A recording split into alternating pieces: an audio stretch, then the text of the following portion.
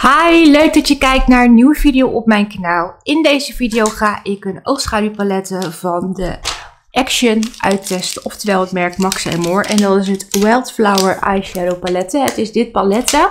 Ik heb hem al een tijdje in huis en ik dacht het is wel weer eens leuk om een... Uh, uh, zo'n paletten uit te testen. Dus in deze video ga ik dit paletten uittesten. Dus mocht je benieuwd zijn of dit uh, paletten uh, goed is en wat ik ervan vind, zou ik gewoon even zeggen, kijk gezellig mee met deze video. Dit is dus het paletten. ik heb hem bij de Action gekocht voor geloof ik 4,44 euro. momenteel is hij er denk ik niet, maar soms komen deze paletten ook weer terug bij de Action. Dus het is vaak wel even de moeite waard om in de gaten te houden of dat ze weer terugkeren. Um, dit paletten is gewoon gemaakt van heel stevig karton. En voelt heel mooi aan. Ik vind ook weer dat de uh, verpakking er prachtig uitziet. Ze zitten altijd gesealed. Ik heb de sealing wel al verbroken, maar ze zitten altijd goed gesealed. En dan haal ik hem er eventjes tussenuit.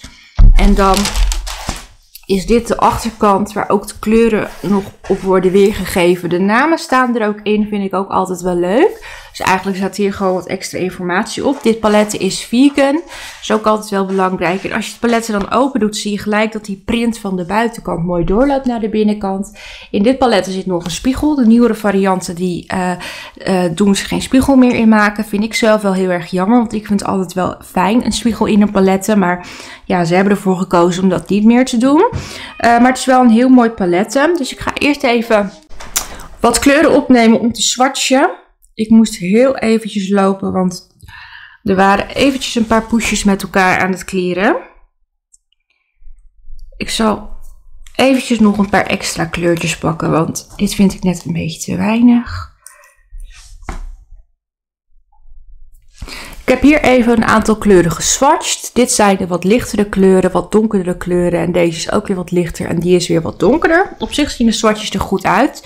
Ik ben benieuwd of je de kleuren uh, mooi kunt opbouwen en of ze goed te blenden zijn. Um, dus ik ga eventjes uh, mijn haarbandje in doen en dan uh, ja, ga ik eens even kijken wat voor look ik hiermee wil gaan maken. Dus um, ja, dan kom ik zo bij jullie terug om een look met dit palet te gaan maken. Zo, jullie zijn ingezoomd. Ga er maar vanuit dat het weer een wat fellere ooglook zou worden, omdat ik daar heel erg van hou. Ik weet dat niet iedereen daarvan houdt, maar ik vind het wel heel erg mooi. Dan ga ik in de arcadeboog beginnen met deze kleur. Dus die. Ik weet nu niet de naam, want dat kan ik dus nu niet lezen. En ik gebruik het uh, spiegeltje wat in het paletten zit. Het, uh, palet, uh, dat spiegeltje is trouwens altijd in het begin een beetje afgedekt.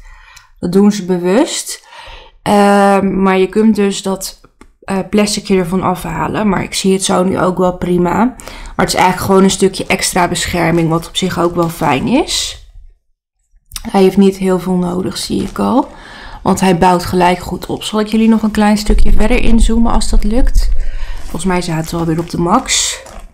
Doen we ook bij de andere kant. Ik ben eigenlijk benieuwd of jullie ook fan zijn van die oogschaduwpalettes van de um, Of dat jullie het niet zo'n fijne kwaliteit vinden. Want dat vind ik ook altijd heel persoonlijk. Want de een vindt het heel fijn en de ander denkt ik laat het lekker zitten. Dan ga ik daar uh, overheen voor diepte met deze kleur. Zo, die kwam eruit. Kleur. Maar ja,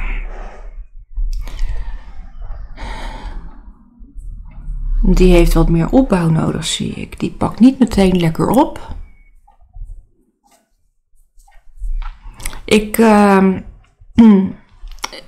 ik heb ze niet allemaal, want sommige die zijn ook gewoon nooit in de winkel gekomen. Maar ik probeer ze meestal wel allemaal te kopen als er weer nieuwe uitkomen. Omdat ik dat gewoon echt heel leuk vind. Ja, hij ziet er wel mooi uit. Zoals je kan zien, inderdaad weer een donkerder ooglook. Ik ben ook wel heel benieuwd hoe dit blendt straks. Want het is nu natuurlijk nog heel hard.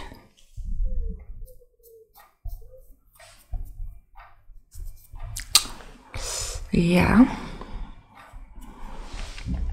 Oké, dat gaan we blenden.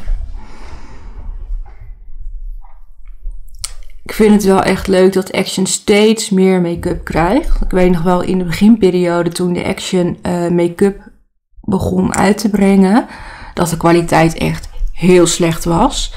Uh, oogschaduwpalettes die hadden bijvoorbeeld weinig pigment en je zag het echt bijna niet terug. En toen ineens was daar een hele verandering en werd alles een stuk beter. En ik weet niet hoe dat komt, want het is nog steeds hetzelfde merk. Maar ze zijn misschien meer met de tijd meegegaan, want ja, hoe lang hebben we de Action al wel niet in, in Nederland? Volgens mij echt super lang. Ik zou er niet eens een jaartal aan durven hangen. Volgens mij hebben we hem al zo lang. Zo. Dat voelt altijd zo grappig, hè? Dat blender, dat kriebelt een beetje in je arcadeboog. Dan is die mooi met elkaar geblend en dan zie je gelijk dat die lekker donker is. Maar zoals ik al zei, ik hou daarvan. Uh, dan ga ik in de buitenste ooghoek deze roze kleur gebruiken. Ik hoop dat die ook lekker opneemt. Ik ga ook nog een andere look maken met dit paletten. En daarvan zal ik even een plaatje in beeld neerzetten. Die moet ik zelf ook nog op gaan nemen. Dus ik weet, of gaan maken. Die ga ik niet opnemen. Dus ik weet nog niet waar ik dan zin in heb. Maar ik denk dat ik wat andere kleuren ga kiezen. Um, ja, ik zie ook wat groene en blauwe tinten. Dat vind ik ook wel leuk. Ik zie geel. Er zitten echt wel heel veel kleuren in. Want dat heb ik volgens mij niet eens benoemd. Ehm...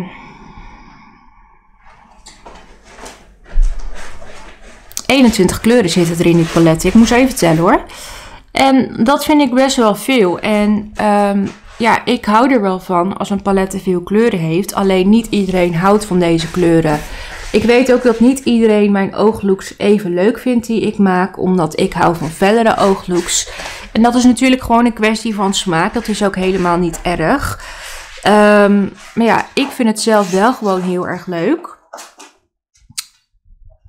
Uh, op dit moment zit er een kat op de kattenbak. Maar dat zijn jullie inmiddels van mij gewend als je mijn video's langer kijkt. Filmen met katten is gewoon niet altijd uh, even simpel. Ik vind dat hij er mooi op zit. Ja, ik vind hem leuk. Zijn jullie eigenlijk mensen die van oogschaduw uh, houden of überhaupt make-up? even mijn Siri uitzetten. Want die begon zich ermee te bemoeien. Ja, ik vind het natuurlijk fantastisch. Daarom heb ik eigenlijk ook ooit een blog ben ik er mee begonnen. En later kwam natuurlijk mijn YouTube kanaal erbij. Alleen die is inmiddels ook uitgebreid met andere video's. Omdat ik niet meer alleen make-up doe. Ja, ik vind hem leuk. Ja, hij is wat aan de heftigere kant. Maar nogmaals, ik hou daarvan. Ga ik op het bewegende ooglid dit lichte kleurtje gebruiken. Ze hebben dus ook namen, maar die kan ik dus niet opnoemen. Mijn haarband die vliegt er inmiddels uit. Heb ik het gevoel. Dus die zie je waarschijnlijk zometeen omhoog poppen. Ehm, maar dat komt omdat ik het niet kan lezen zonder, uh, zonder bril of lenzen. En de lenzen die lukken momenteel sowieso niet, want ik heb heel erg last van de hooikoorts en van mijn ogen. Dus dat is echt finest. Ik ben aan het niezen, ik krijg traanogen, het jeukt. Dus dat is allemaal niet echt heel erg lekker. Zo.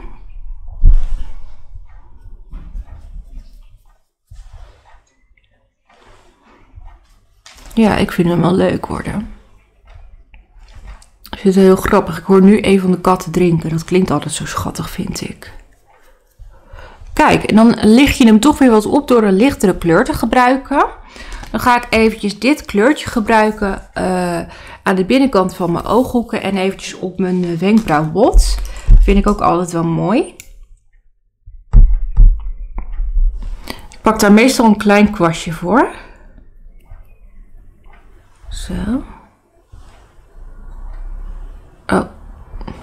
Kijk een beetje te veel naar beneden. Dat was niet de bedoeling. Ah, leuk.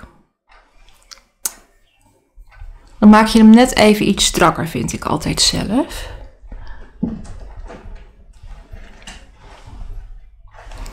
Maar goed, wat ik al zei, als jullie mijn video's langer kijken, weet je inmiddels wel dat ik vaak wat intensere ooglooks maak. En nogmaals, niet iedereen vindt dat leuk, maar dat hoeft ook niet. Want ja, je hebt zoveel verschillende mensen en zoveel verschillende smaken. Als we allemaal hetzelfde leuk zouden vinden, zou het leven ook maar saai worden, denk ik. Oké, dan ziet hij er nu zo uit. Ik vind hem zelf heel leuk geworden. Ik ga hem even afmaken met een eyeliner, oogpotlood en mascara. Ik doe dat even niet voor de camera, want dat vind ik altijd heel lastig. Ik gebruik daar het liefst ook mijn twee handen voor. En als ik nou een spiegeltje vast moet houden en ook nog mijn product, dan gaat dat niet goed. Dus ik ga dat even aanbrengen en dan kom ik bij jullie terug en laat ik zien hoe het er dan uitziet. En zo ziet de ooglook er dan uit als ik hem heb afgemaakt met mascara, een oogpotloodje en een eyeliner. Ik vind het zelf echt heel erg leuk. Ik keek net nog wel even wat dichterbij in de spiegel en dat vond ik heel erg mooi. Wat mij wel opviel is dat ik heel veel fallout had onder mijn ogen. Die heb ik even weggewerkt. Daar heb ik gewoon wat concealer op aangebracht. Uh, die ingeblend en daarna wat poeder eroverheen. Maar ik vind hem in ieder geval wel heel erg leuk geworden. Nou, wat vind ik van het uh, Wildflowers paletten? Ik vind de eerste ooglook die ik ermee gemaakt heb hartstikke leuk gelukt. Het is persoonlijk, ik vind het heel erg leuk. Ik hou ervan. Dus ik word er heel erg blij uh, van. Uh, wat ik dus al zei, uh, hij poedert wel heel erg. Dus uh, het is belangrijk misschien om even je kwast af te tikken voor je hem gaat aanbrengen. Want ik had dus heel veel fallout. Die hebben jullie misschien toen de look klaar was, um, of voordat ik de look helemaal afmaakte, wel goed kunnen zien. Maar die heb ik dus net even verborgen. Dus dat is misschien iets um, waar je rekening mee moet houden, dat je even die kwast aftikt. Verder vind ik de kleuren die erin zitten super leuk. En vind ik het heel erg leuk uh, hoe de look is geworden. Nogmaals, ik ga er dus nog een andere look mee maken. Maar dat plaatje hebben jullie al in beeld gezien. Hoe dat eruit ziet. Voor nu ben ik in ieder geval weer heel erg tevreden. Voor een palette van 4,44 euro is het eigenlijk gewoon dikke prima. En word ik er heel erg blij van. Ik ben eigenlijk wel benieuwd uh, wat jij van de ooglook vindt die ik ermee gemaakt heb. Uh, ja, en is het een palette die jij misschien destijds ook hebt gekocht of waarvan je misschien uh, hoopt dat die nog eens terugkomt bij de Action? Laat het vooral eventjes weten. En ik ben ook wel benieuwd of jij ook fan bent van die oogschaduwpalettes van Max More, want ik ben er dus een heel groot fan van. Uh, ik hoop in ieder geval dat je het leuk vond om naar deze video te kijken. Ben je nieuw op je, mijn kanaal kun je gratis abonneren door op het rondje met mijn gezicht te drukken of op mijn kanaal zelf. Er staat een rode button. Daarnaast staat een belletje en als je die aanklikt krijg je die melding zodra er een nieuwe video online verschijnt. En hoef je niks meer te missen. Vond je deze video leuk, doe dan zeker even je duimpje omhoog. Voor nu wil ik je in ieder geval heel erg bedanken voor het kijken en hoop ik je bij een volgende video weer te mogen zien. Doei!